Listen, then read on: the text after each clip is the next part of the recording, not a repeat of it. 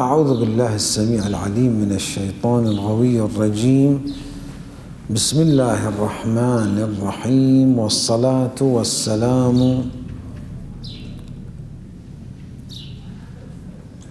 على المبعوث بالهدى للعالمين محمد وعلى آله هداة الدين إلى يوم القيامة.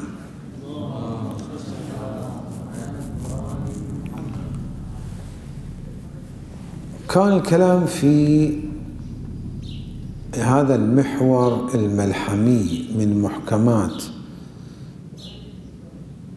القرآن الكريم المذكور في سورة البقرة في أوائلها وغير سورة البقرة من سور أخرى. نستطيع أن نعبر عنه منهج المعرفة. ومر بنا أنه القرآن الكريم في منهج المعرفة يذكر عدة أسس. الأساس الأول فيها الاستمداد من الوحي وأن الوحي ذو طبقات. هذا الأساس الأول. الأساس الثاني الفحص الفحص والبحث والسعي والحركة عكس ما لدى السفسطيين والمشككين. يتمترسون ويتقنعون. ويتقنعون بماذا؟ يتقنعون بال يتقنعون بالسؤال عن الكسل. الكسل وعدم الفحص. حقيقة التشكيك حقيقة التشكيك وحقيقة الريبة كما مر بنا هذا. هذا الأساس الثاني. نبذ التشكيك يعني ليس نبذ السؤال نبذ التململ نبذ الإنكار النتائج السريعة المستعجلة من دون فحص. الأساس الثالث الطهارة هدى للمتقين. الطهارة لا بد منها وتأثير ذلك. الأساس الرابع الذي وصلنا إليه الذين يؤمنون بالغيب ويقيمون الصلاة يؤمنون بالغيب الإيمان بالغيب أساس مهم في المعرفة. لولا إذعان نفسي لدى العلماء في كل علم سواء علوم تجريبية أو علوم إنسانية أو علوم نقلية أو علوم عقلية أو اي اي مجموعة من العلوم الأخرى لولا إيمان أولئك العلماء.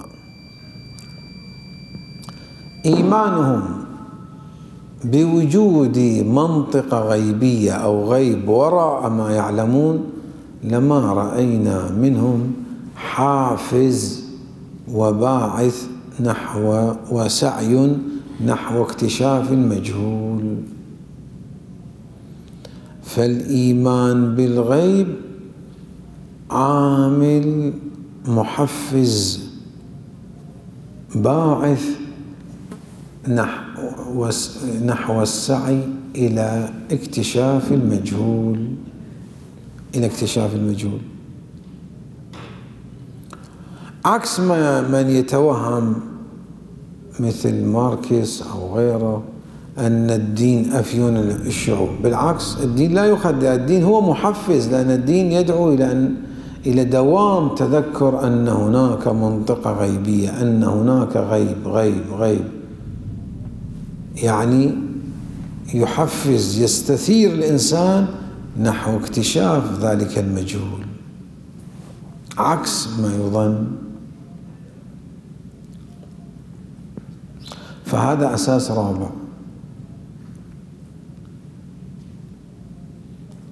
أساس رابع في أن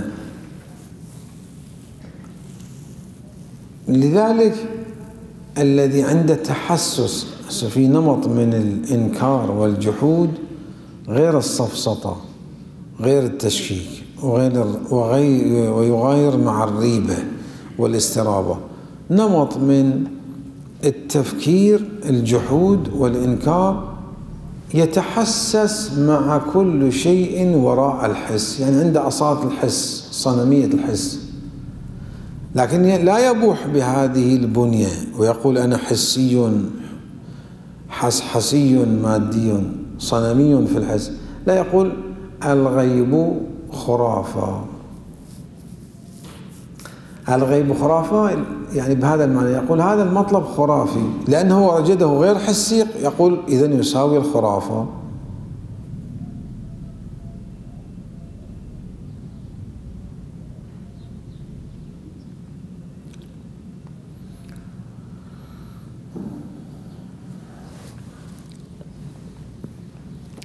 إذا دققنا النظر نشاهد أن الكفر الصفة ليست صفة عملية فقط لا صفة ترتبط بالجانب العلمي في الإنسان. الكفر يعني الكفر هو في اللغة في الأصل كفر كفر يكفر كذا كفر كفر كفر كمصدر مو كفر أو اسم مصدر مو كفر بمعنى فعل ماضي. كفر أو كفر وكذا يعني حجاب وستار.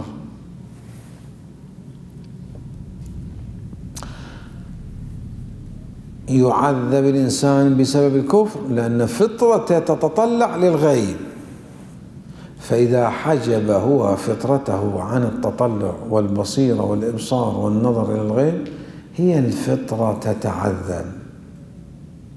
مر بنا شيء من إشارة لهذا البحث. عكس الإيمان لا فسحة نجاة شرح انشراح. لماذا؟ للإيمان إبصار للغيب ولو بدرجة مبهمة إجمالية.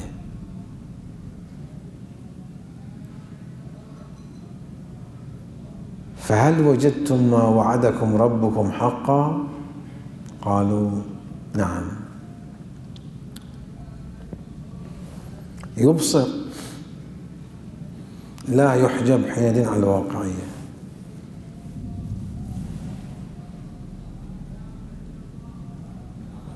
فالإيمان صفة إدراكية أحد حيثياته طبعا. صفة إدراكية بصيرة باصرة نظر سلامة في البصر مفعل البصر. ذاك يعيش في فسحة. لأن ما ينظر إليه سعة فيه فسح فسحة وسعة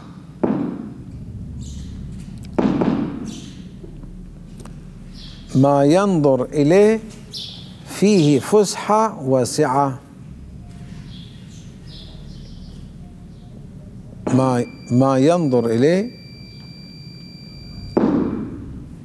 فيه فسحة وسعة لذلك يعيش فيه فسحة وسعة المؤمن في القبر يمد إليه في بصره. إيمان جعل بصير. ما يكون القبر له ضغط يضغطه يحبسه. أما الكفر لا حبس نظره. هو سجن نفسه في حجاب.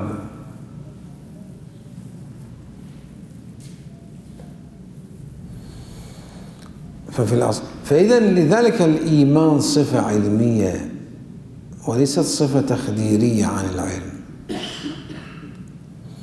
الكفر بالعكس.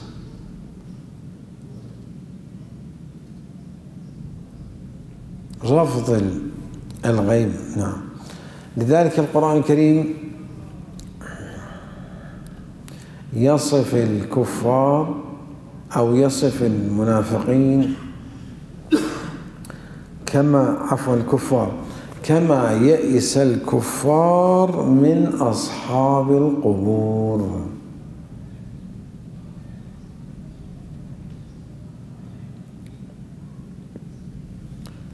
لأنه كافر لا يؤمن بالغيب ولا بالبرزخ ولا بحياة البرزخ ولا بحياة الآخرة. يقول هذا الميت أصحاب القبر. اندثر وفنى فناء باتا فهو يئوس يئوسي يئوس من حياة صاحب القبر كما يئس الكفار ها من أصحاب القبور. هذه صفة الكفار أنهم ييأسوا من أصحاب القبور. أما صفة المؤمنين ماذا؟ لا ييأسوا من أصحاب القبر في زيارة سيد الشهداء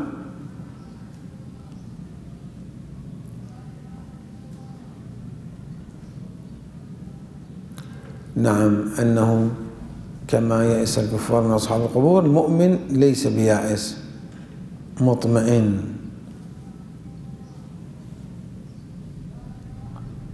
نعم يطمئن ومسلم كما في بعض زيارات سيد الشهداء هكذا أنه أشهد أنك لم تمت لم تمت مو لم تمت مثل لا تقولوا لمن يقتل في سبيل الله أموات يعني ليس موت بمعنى عدم مطلق لمطلق الحياة. لا أحياء لكن ما يقول أحياء في الدنيا أحياء وين؟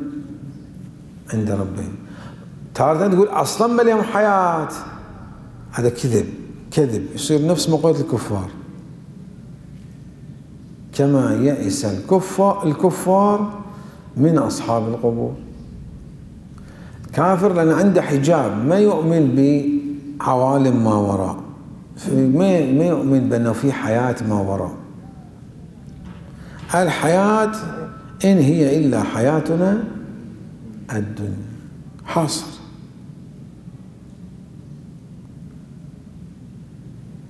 من ثم هؤلاء السلفية والوهابية مبتلون بالمذهب المادي الحسي وجحود الغيب.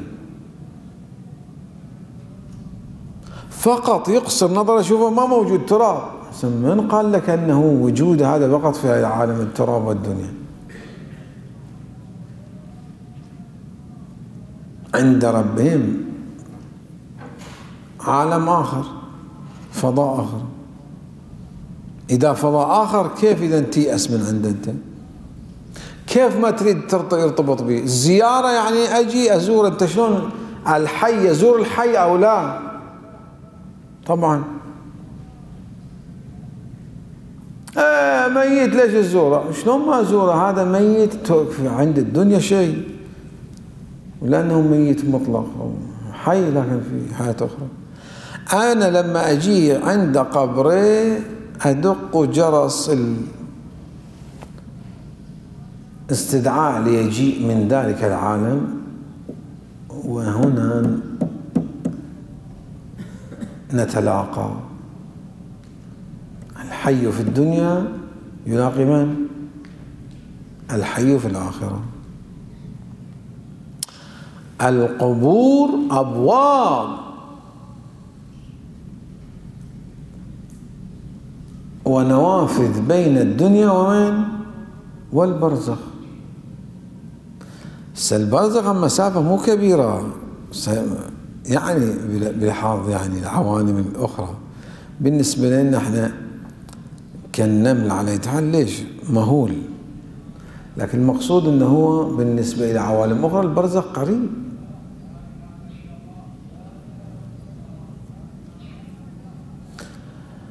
لذلك القرآن الكريم يصف يصف الكفار يعني كفر جعل حجاب عندما يبصر ما يبصر بأن هذا الميت مات دنيا لم يمت آخرته. ولماذا لماذا لا يكون هناك علاقات تواصل بين الأحياء في الآخرة والأحياء في الدنيا؟ شبكة اتصال. من قال لك لا توجد؟ كما يئس الكفار من أصحاب القبور. يؤسيون هؤلاء. لأن الكافر ما يبصر. من ثم هؤلاء السلفية والوهابية في حقيقة أمرهم مذهب حسي مادي. المادة عندهم صنمية فيها الحس عندهم صنمية فيه حس ولا غير. حس وبس.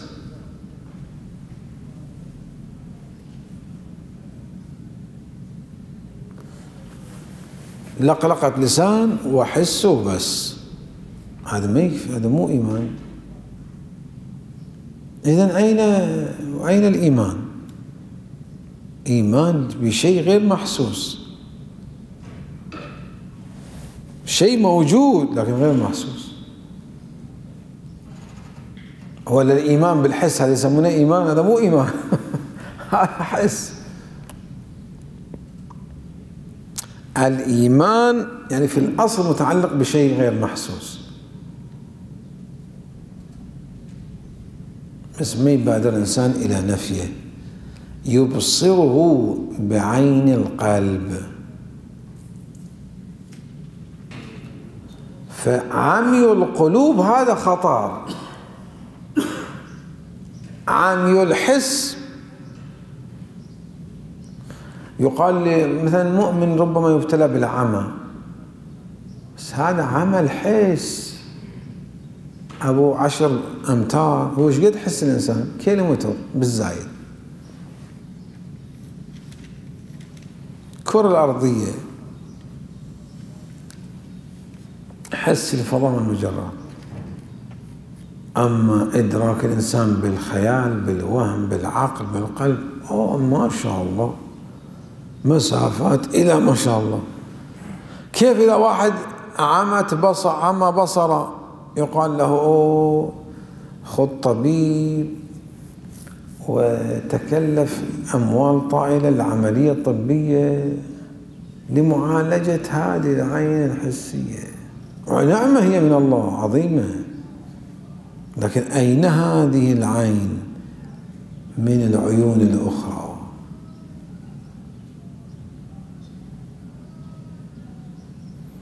هذا الكافر أو الكفر أو المروج للكفر يفسد عيون مسلحة عظيمة أخرى.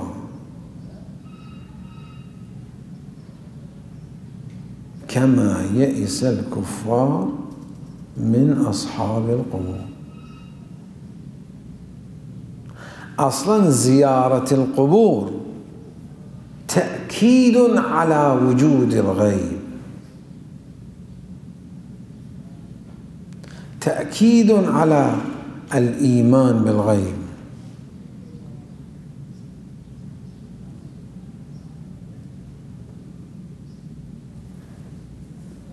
لأن زيارة القبور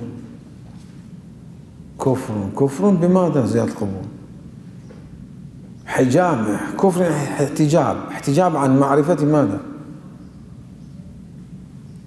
لذلك بالعكس القرآن الكريم يجعل معلم الكفر اليأس من القبور وأصحاب القبور من أصحاب القبور. يأس المنقطع ما عنده اتصال ولا عنده وصال.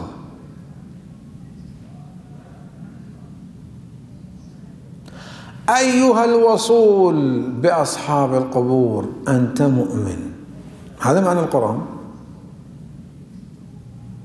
مؤمن في عالم آخر في نشأة أخرى أوليس القرآن الكريم يؤكد نؤكد عن النشأة الأخرى النشأة الأخرى النشأة الأخرى؟ كيف نكفر بها؟ نشأة مو بشأة. نشأة نشأة نشوء.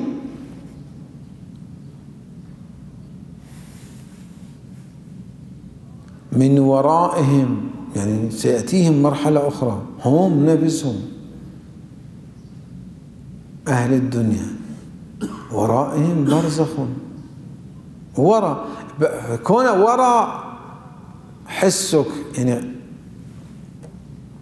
لا يمتد إليه حسك وبصرك تكفر به وتنكر.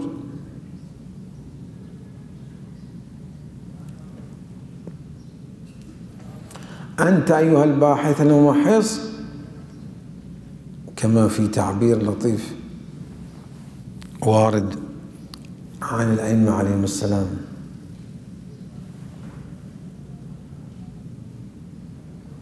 أن الخفاء بمعنى أوجب للإيمان من الشهادة والعلم أوجب يعني تسبب بصيرة لأمور وحث وسعي نحو اكتشافها أشد من الحس. الإمام يقول نحن إذ خفي علينا كنا أشد إيمان به مما لو ظهر. ليش؟ الظهر الظاهر محدود محبوس متناهي. وأما الغير ظاهر لا متناهي. الحافز نحو ادراكه اشد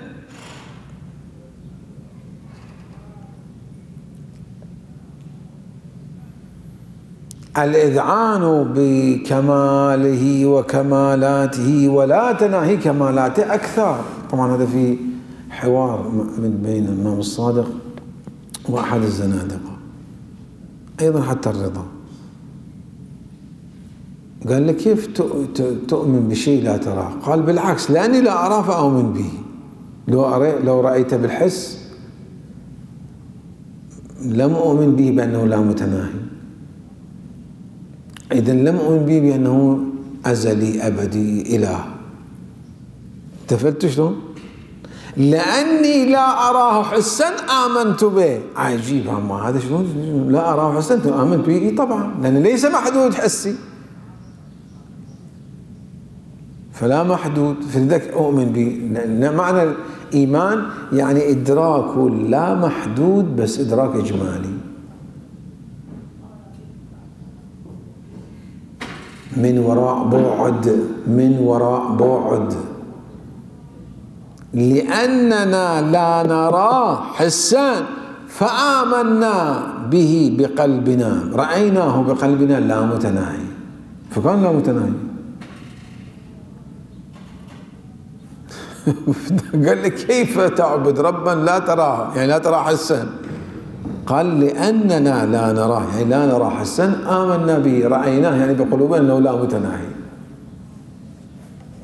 لأن القلب معد جهاز لدرك اللا, اللا تناهي. عين ناظرة لا متناهي.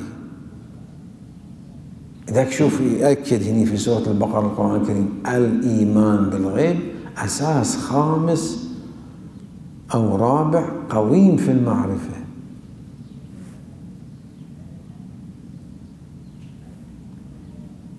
قال لي لأنه ما أراه فأنا أنكر أجحده. قال لي سبحان الله يقول له النوصار نحن إذ لم نراه يعني حسا فآمنا به رأيناه بأنه لا متناهي لآثار.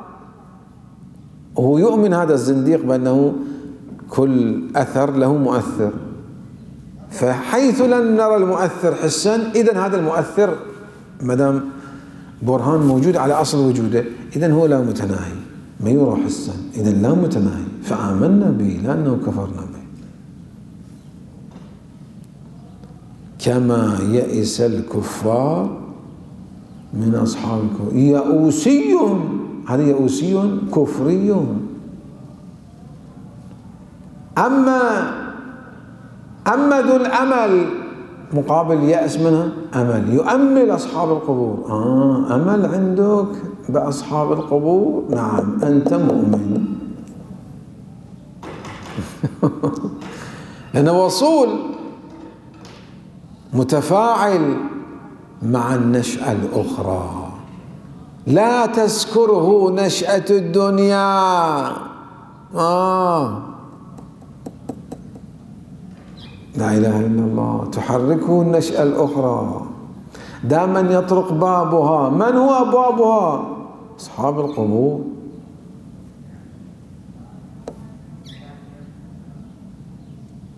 أنتم قبوريون. طبعا القرآن يقول المؤمنون قبوريون. الكفار يئوسيون عن أصحاب القبور. قبوريون. لأن هي أبواب البرزخ أبواب الآخرة كيف ما نؤمن بالآخرة؟ وأبوابها القبور. وهل لك أن تذهب إلى الآخرة إلا من القبور؟ لو لا تريد تطفر وتطير ما تقدر. كل نفس ماذا؟ لا مو ذائقة الموت. هذا عندي المنطق السلفي لا بدك شلون تروح أنت الاخره؟ إيمان بالغيب. أساس عظيم في المعرفة. إيمان وصلى الله على محمد وعلى طالب